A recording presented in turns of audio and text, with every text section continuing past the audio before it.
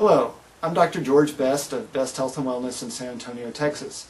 And today I'm going to share with you some little known information about rotator cuff problems that even a lot of doctors and physical therapists are aware of. And I think you'll be surprised by the effects that other things besides the shoulder have on the rotator cuff. So I'm going to uh, cut away, change into something more comfortable, and we'll show you a little demonstration I think will you'll find rather interesting. So let's get started. I'm going to demonstrate now the effects that posture have on shoulder mobility and explain why shoulder mobility is tied in with those problems with rotator cuff and, and different types of shoulder pain. What um, a lot of people don't realize, including a lot of doctors and physical therapists, is that the shoulder itself, in a lot of cases, is not really the reason why the shoulder isn't moving properly. And I'm going to do a little demonstration here for you. Um, first of all, I'm, I'm going to start out standing up nice and straight, nice and good with uh, good posture. And I'm going to just raise my arm up straight to the side. And you can see I can get my arm up pretty good. I can get it all the way to where it actually touches my head and without doing any strange contortions to get it there. And I don't have any shoulder pain, so this may be a little different for, for you if you are having shoulder problems. But I'm going to show you now what happens if I just slouch a little bit. Um, so I'm just going to kind of loosen up, and I'm going to just kind of let my shoulders drop down some, let my upper body slouch forward just a little bit. And now I'm going to do the exact same range of motion. And that's as far as I can go. I could probably force it another few degrees, but that's as far as it's going to get. And you can see, now I'm going to stand up straight again, you can see what happens when I stand up straight. I'm going to slouch forward a lot because I see a lot of people that are actually slouched forward quite a bit more than what I showed you the first time. They'll actually come in really slouched forward. Their head's kind of sh shifted forward. Their upper body's really kind of leaning. And I'm going to do the same range of motion once more. And I'd really have to strain to get any higher than that. So the shoulder range of motion is drastically affected by your posture.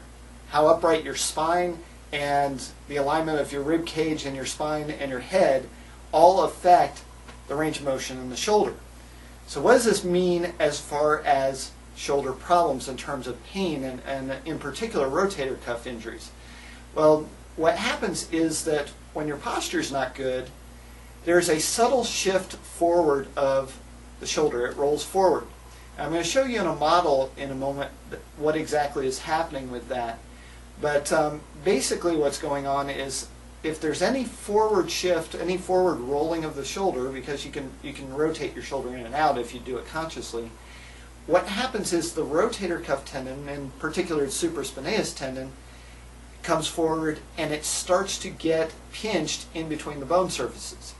And your body's not going to let you go much further and where that tendon's starting to get pinched. But for somebody who has this problem, who has this postural distortion, and the shoulder is, run for, is rolled forward, what happens is that just through normal life and using your arm and that type of thing, there's a lot more mechanical stress and actual friction and rubbing on that tendon. And what happens is that because the shoulder is rolled forward and because that tendon is rubbing up against the bones and ligaments, which I'll show you on the model, it's kind of like taking a rope and rubbing it across a rock repeatedly. So over time, what happens is you get these little, uh, basically abrasions, which then turn into um, fraying of that tendon. And that produces inflammation, so then it rubs even more. You get even more inflammation. And over time, you start to develop a situation where you can't really move the shoulder at all because the tendon is swollen up, it's got a lot of uh, painful spots along it, so anything that rubs, it's going to hurt when you move it. So that's basically what's going on with it, and this is why I place such an importance on the spine posture and the rib cage when it comes to shoulder problems because the vast majority of time, unless there's been a direct trauma to the shoulder or it's a like an overuse type injury from a like a baseball pitcher, and even in those cases, a lot of times it's postural what's happening is that it's actually more your posture, how, how upright you are, how good the health of your spine is, positioning of your head, those types of things make a much bigger difference on your shoulder than actually working on the shoulder does. And this is why shoulder rehabilitation usually takes so long is that everybody's focused right there. And the problem isn't there, it's back, rib cage, neck, and those types of things. So I'm going to show you now what's, what's actually going on with the model so you can get a little better idea of what's, what's happening in there. All right, so I've zoomed in now so that I can show you this model of the shoulder. And this is a model of the right shoulder. And this is the shoulder blade, which is in the back. So you're looking at something that's going to be oriented kind of like so. And this is the collarbone, and this is the upper arm bone. And most rotator cuff problems, I'm going to turn this around so we're looking at the back of the scapula or the shoulder blade. And most uh, rotator cuff problems involve a muscle called the supraspinatus, which sits in this groove on top of the shoulder blade. Just I'm going to kind of try to get my finger through there. And you can see where my finger comes out. That's where the tendon comes out and attaches into the upper arm bone. So the supraspinatus, uh, it gets its name, by the way, by this is what's called the spine of the scapula. And the supraspinatus, the name means above the spine. And it's actually, in this case, referring to the spine of the scapula, not the backbone spine. But supraspinatus comes through here, and you can see the tendon comes through kind of a tunnel in between the bones, between the collarbone where it attaches to the scapula. Um, this is what's called the acromioclavicular joint.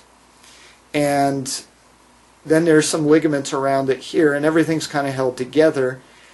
What happens is that under normal circumstances, that tendon will come through where my finger is, and it'll attach and it has a pretty straight shot into its attachment on the arm bone.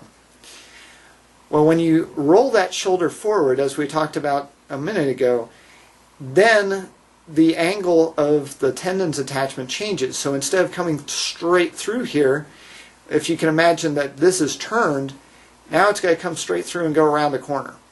So it's going to come out and it's going to turn to make its attachment. And because it's doing that, now it's going to rub over on this side of the tunnel.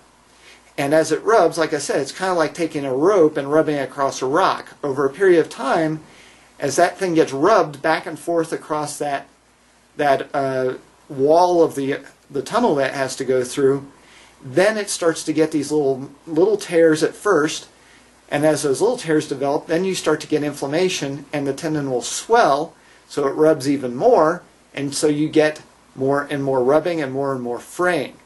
And so a lot of people that have so-called rotator cuff tears, it's really more of a case of rotator cuff fraying, um, a lot of little areas of damage rather than one specific torn site. And it's that type of a, of a problem that's actually probably far more common in, in my practice than an out, out and out tear which occurs through through a trauma. But that's what happens with the rotator cuff injuries, and they tend to get worse and worse and worse over time, primarily because of this poor alignment of the shoulder.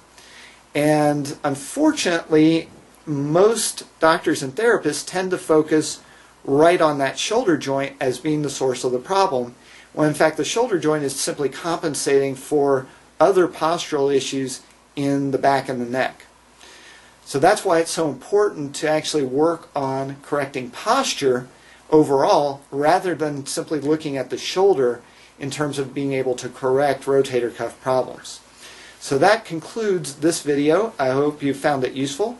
And for more information on shoulder types of problems as well as general natural remedies and, and other natural health information, please visit my website at www.besthealthandwellnessinfo.com. Thank you very much, and I look forward to seeing you on another video.